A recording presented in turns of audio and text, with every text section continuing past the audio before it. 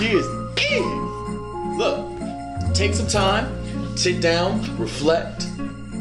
Think about everything that you went through, every challenge that you had that you accomplished, every goal that you checked off your goal list.